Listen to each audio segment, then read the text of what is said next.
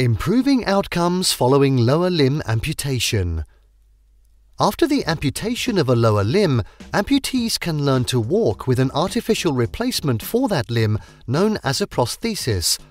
This can be challenging, however, due to the loss of somatosensory information such as the perception of touch and pressure coming from the foot.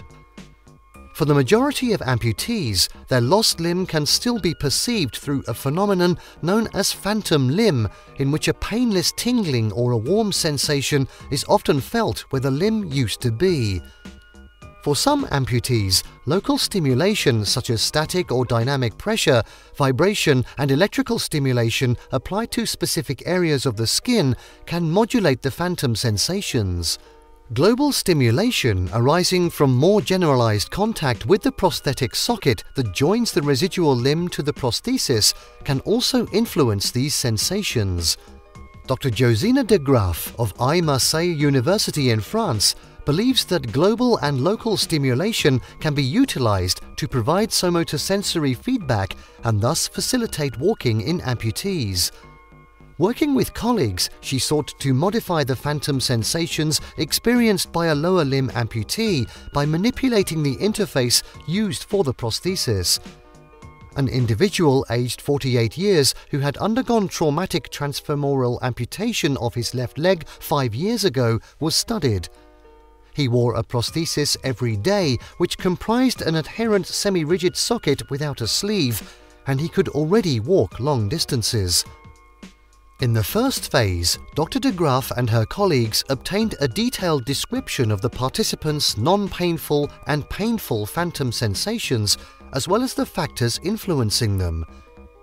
In the second stage, they explored the areas of the participant's residual limb where stimulations would induce or modify the phantom sensations.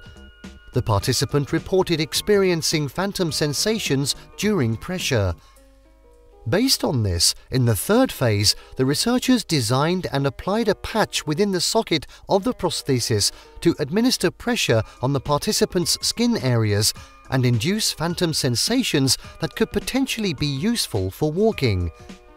They did this under four different prosthetic interface conditions a rigid and a semi-rigid socket, each one with and without a focal pressure increase on a specific area of the residual limb. The phantom sensations reported by the participant during walking differed according to the four interface conditions, confirming the effectiveness of the overall approach. In addition, the different types of interfaces had different effects, both on the participant's sensation of tingling in the foot, perceptions of the calf and on his gait pattern. Overall, the participant expressed a preference for the semi-rigid socket with a patch, which he even asked to keep at the end of the study. This preliminary but important study provides strong support for considering non-painful phantom sensations experienced by lower limb amputees in the early rehabilitation stage, and in particular for adopting a personalized approach to prosthesis designing in order to maximize patient outcomes. Dr. de Graaf and her colleagues are continuing this critical work in their ongoing research.